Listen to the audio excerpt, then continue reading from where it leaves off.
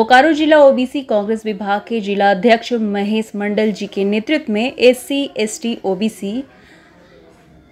Minority विभाग का संयुक्त प्रेस कॉन्फ्रेंस बोकारो के सर्किट हाउस में आयोजित किया गया। प्रेस को संबोधित करते हुए सभी विभाग के अध्यक्षों समेत उपस्थित पार्टी के सीनियर नेताओं ने एकमत होकर कहा कि हमारे नेता राहुल गांधी का स्पष्ट विजन है। संगठन सरकार और पार्टी के अंदर एससी, एसटी, ओबीसी माइनॉरिटी के लोगों को अधिक से अधिक भागीदारी देना। इस मौके पर बोकारो जिला कांग्रेस कमेटी ओबीसी विभाग के अध्यक्ष महेश्वर मंडल ने कहा कि विशाल सोच के कारण आज पार्टी के अंदर खोए हुए आधार बड़ी तेज़ी से लौट रहा है, जो विगत चुनाव के अंदर साफ़ दिखा है। राहुल गांधी के विचारों को आत्मसात करते हुए सभी विभाग के अध्यक्षों ने जिसकी जितनी हिस्सेदारी, उसकी उतनी भागीदारी के फॉर्मूले को मानते हुए बोकारो विधानसभा से एससी, एसटी, ओबीसी और मुस्लिम प्रत्याशी की मांग हम लोग करते हैं। बोकारो विधानसभा का सामाजिक समीकरण भी इसी के अनुकूल है इसलिए पार्टी के शीर्षस्थ नेताओं को भी इसी सामाजिक समीकरण के तहत योग्य उम्मीदवार को बोकारो विधानसभा से प्रत्याशी बनाना चाहिए ताकि बड़ी ही सुगमता के साथ बोकारो विधानसभा का ये सीट जीत और अग्रसर हो सके। प्रेस वार्ता में उपस्थित सभी विभाग के वरिष्ठ नेताओं ने भी संयुक्त रूप से कहा कि बहुत जल्दी एक प्रतिनिधि मंडल के रूप में सभी प्रकोष्ठ के नेता अपने आला कमान से मिलकर बोकारो की सामाजिक स्थिति की जानकारी देकर बहुजन समाज से प्रत्याशी हो इसकी मांग प्रमुखता से की जाएगी। विपक्षी पार्टी भी इसी फॉर्मूले के साथ ही अपना जनप्रतिनिधि देने में कामयाब हो जाती है, इसलिए इस धुरी को अगर तोड़ा जा सकता है। बरसरते आला कमान पचासी प्रतिशत भागीदारी करने वाले किसी भी योग व्यक्ति को यहाँ से अपना उम्मीदवार बनाए तो निश्चित ही एससी, एसटी, ओबीसी और मुस्लिम समाज के लोग बड़ी ही आसानी से विजय प्रत्याशी देने में कामयाब होंगे। इस मौके पर बोकारो जिला कांग्रेस पार्टी के ओबीसी विभाग के जिला अध्यक्ष Maheshwar Mandal Jitendra Yadav Kamrul Hasan R D Paswan Hakim Malik batik Ansari, Nagendra Paswan Satyendra Yadav, Manju Ansari, Shibu Yadav, Aftab Alam, Ajay Sharma, Arvind Thakur, Rakesh Sharma, Mukhtar Ansari समेत कई कांग्रेसी नेता एवं कार्यकर्ता मौजूद थे। बोकारो से विजय आनंद की रिपोर्ट। उनका विजन है, उनको हम लोग समर्थन के लिए यहाँ पर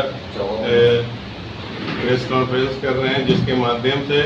हम बताना चाहते हैं कि जो हमारा पचासी परसेंट ओबीसी का भागीदारी है पूरा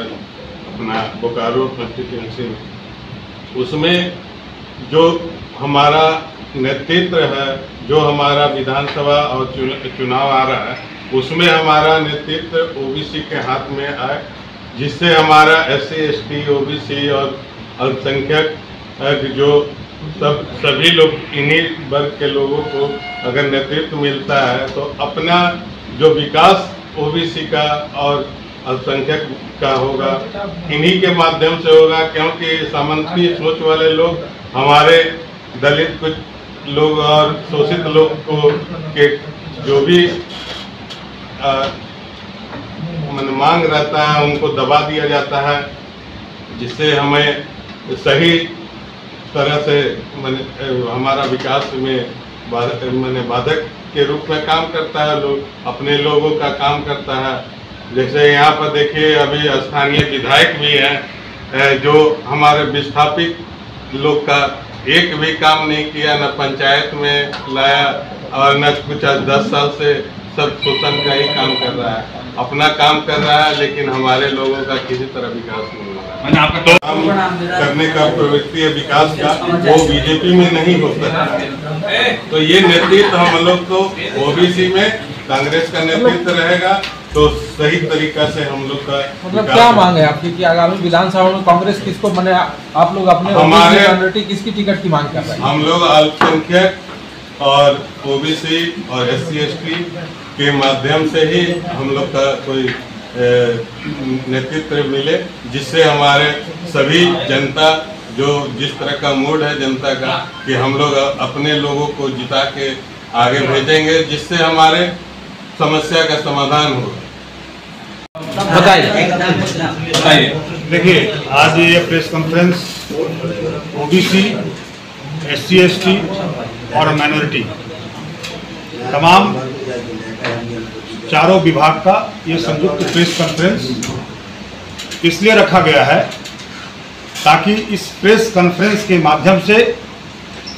हम अपनी बात अपने नेतृत्व तक कह सके,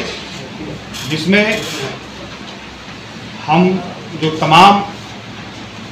सभी विभागों के जो यहाँ वरिष्ठ नेता बैठे हैं, वो हम चाहते हैं कि आगे नेतृत्व करने का मौका इस विधानसभा के अंदर किसी समुदाय के योग्य व्यक्तियों के द्वारा इस मौका को दिया जाए।